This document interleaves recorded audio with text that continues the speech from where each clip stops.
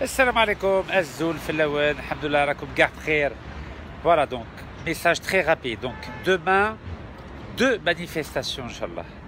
Donc, euh, pardon, une manifestation d'abord, samedi. Donc, à 16h devant la prison de Fresnes, toujours pour Khuna Tariq Ramadan. Donc, demain, samedi,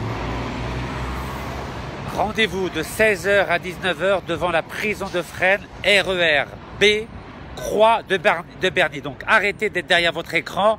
S'il n'y a pas une mobilisation sur le terrain, c'est pas la peine. Il faut être sur le terrain. Sinon, ça ne servira à rien du tout. Les messages de soutien sur Facebook, la justice française n'en a strictement rien à faire. Donc il faut venir avec nous sur le terrain, montrer votre soutien pour la libération de M. Tariq Ramadan afin qu'il puisse préparer sereinement son procès. Et ensuite, ce sera la justice française de décider elle fera son travail. Et dimanche, Inch'Allah, dimanche, Inch'Allah, deux manifestations. La première, de 14h à 16h, devant l'ambassade d'Allemagne. 24 rue Barbeau, métro Porte-Maillot. Pour dire non à la visite de la chancelière Merkel en Algérie, car on ne veut pas que l'Occident soutienne la dictature de la mafia des 40 voleurs et la dictature du mort-vivant Bouteflika. Donc voilà l'autorisation qui a été accordée par la préfecture à la comme non à la visite de la chancelière Merkel chez le dictateur Bouteflika. Ce sera dimanche 16 de 14h à 16h. Et ensuite, et ensuite,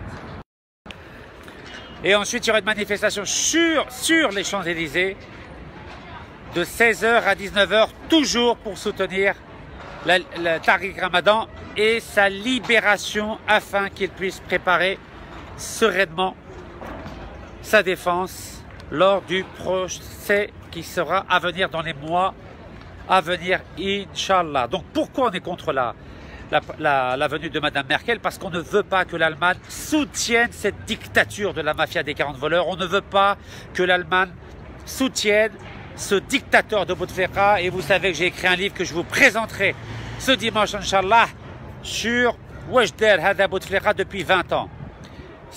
Depuis les vols jusqu'à la privation des libertés des journalistes, jusqu'aux 60 000 Algériens qui sont aujourd'hui dans les 81 prisons qu'il a fait construire, jusqu'à la mosquée qui a coûté 3 milliards de dollars au Sbetar Bled. Donc il faut mettre fin à la dictature de cette mafia des 40 voleurs et mettre fin à ce dictateur qui est resté beaucoup trop longtemps au pouvoir. Donc mort ou vivant, nous ne voulons plus de ce dictateur en Algérie et nous ne voulons plus de la mafia des 40 voleurs. Donc je résume, demain, Inch'Allah, samedi, de 16h à 19h, devant la prison de Fresnes, RERB, arrêt Croix de Berny. Et dimanche, de 14h à 16h, devant l'ambassade d'Allemagne, métro Porte-Maillot, 24 rue Barbeau. Et ensuite, sur les Champs-Élysées, 73 avenue des Champs-Élysées, de 16h à 19h, pour soutenir Tariq Ramadan et sa libération avant son procès à venir. Attallah salam alaikum.